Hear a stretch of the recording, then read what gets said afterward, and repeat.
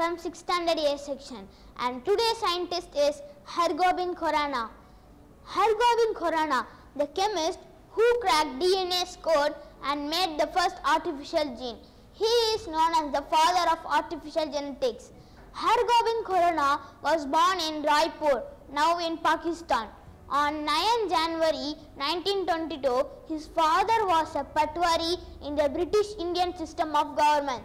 Hargobind did his schooling from the DAV High School in Multan. He received his BSc and MSc degrees from the Punjab University in Lahore.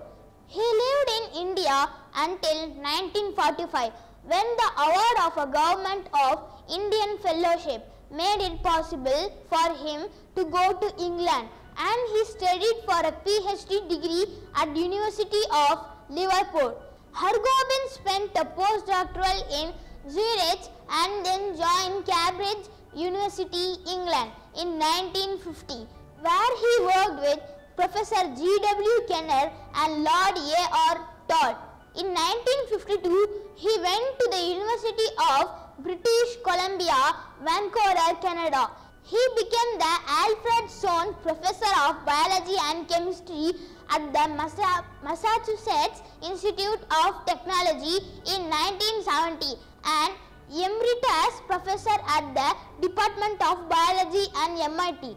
He shared the Nobel Prize for Medicine and Physiology in 1968 with Marshall Nirenberg and Robert Holley for cracking the genetic codes.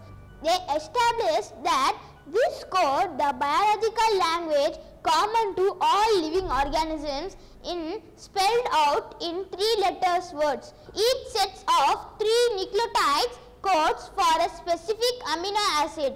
He also the first to synthesize strings of nucleotides Today, these indispensable tools are widely used in biology labs for sequencing, cloning and genetic engineering.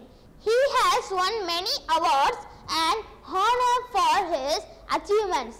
Amongst them, the Padma Vibhushan membership of National Academy of Science USA as well as a fellow of the American Association for Advancement of Science. Now it's quiz time and today's question is who is known as the father of artificial genetics? Stay tuned, keep watching. Thank you.